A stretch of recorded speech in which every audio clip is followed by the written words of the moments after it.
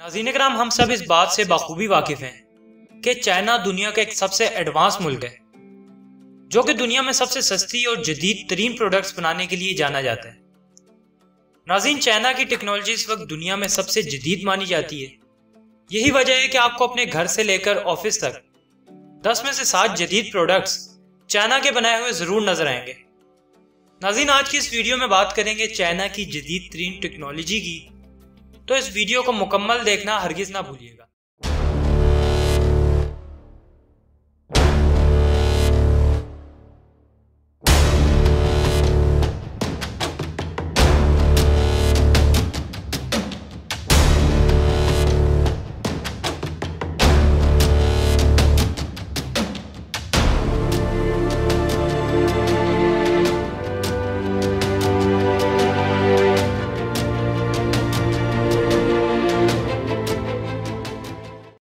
नाजीन ग्राम Z TV की video में दिल की अता गहराइयों से खुश आमदी नाजीन इस वक्त दुनिया में ट्रांसपोर्ट के लिए लाखों बसेस का इस्तेमाल किया जाता है, जिसमें करोड़ों लोग रोज़ाना सफ़र करते हैं और इन बसेस से निकलने वाला धुआँ हमारे माहौल को बुरी तरह नुकसान पहुँचा रहा है, जिसका सोल्यूशन चाइना ने इको फ्रेंडली इलेक्ट्रिक बसेस की शक्ल में निकाला है।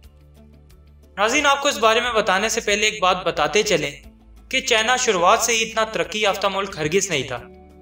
चाइना में एक दौर में इतनी गुर्बत हुआ करती थी कि करोड़ों लोग यहाँ भूख से मर चुके हैं।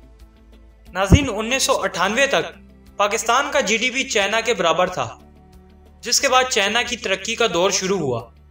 और देखते ही देखते दो दिहाइयों में चाइना ने बड़े बड़े यूरोपीय ममालिक को पीछे छोड़ दिया। नाजीन चाइना की सरजमीन में कोयला बहुत वाफिर मकदार में मौजूद है। यही वजह है कि चाइना की आबो हवा खासी पोल्यूटेड है।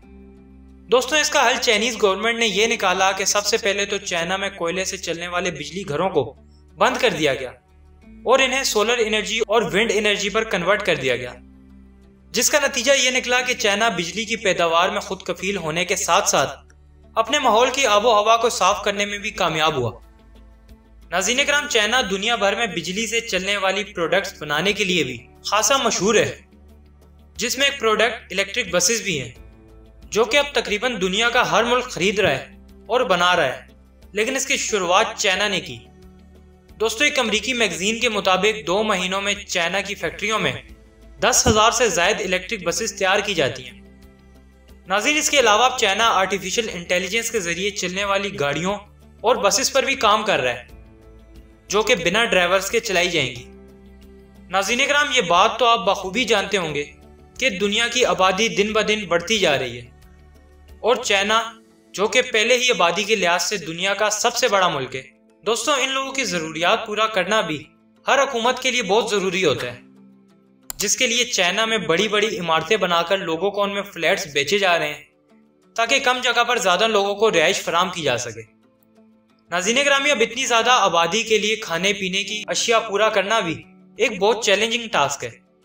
जिसके लिए बहुत ज़्यादा रकबे पर एग्रीकल्चर लैंड की ज़रूरत है।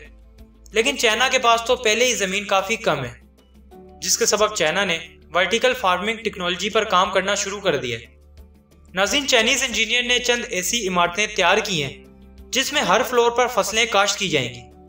नाजिन कराम इस टेक्नोलॉजी को वर्टिकल फ़ार्मिंग कहा जाता है, जिससे चाइना सालाना लाखों टन फ़सलें काश्त करता है।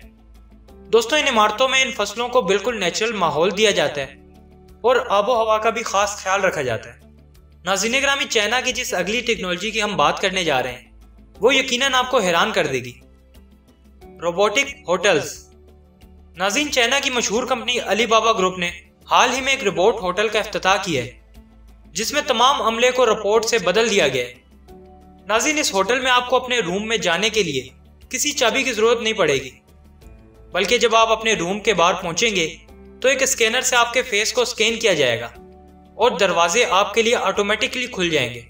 नाजीन इस होटल के रूम्स में लाइट्स और टेलीविज़न भी महज आपकी एक आवाज़ पर ऑन और ऑफ़ होंगे और तमाम होटल सर्विसेज़ भी आपको रोबोट्स ही फराम करेंगे।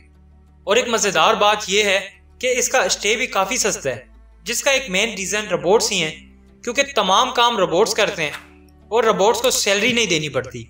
लिहाजा इस होटल्स के खर्चे भी बहुत कम हैं। नाजीन ग्रामी चाइना का अगला प्रोजेक्ट तो उस मसले के लिए है, जो तकरीबन हर बड़े शहर का मसला है। ऑटोमेटेड पार्किंग दोस्तों चाइना के बहुत से शहरों में यह ऑटोमेटेड पार्किंग बनाई गई है, जिसमें मुख्तलिफ़ मैकेनिज्म की मदद से गाड़ियों को पार्क किया जाता है। नाजिन, इस तरह गाड़ियाँ पार्क करने से 70 परसेंट तक पार्किंग स्पेस बचाई जाती है, और अब यह टेक्नोलॉजी तकरीबन दुनिया के हर मुल्क में इस्तेमाल की जा रही है। तो दोस्तों, उम्मीद करते हैं ये वीडियो आपको बेहद पसंद आई होगी।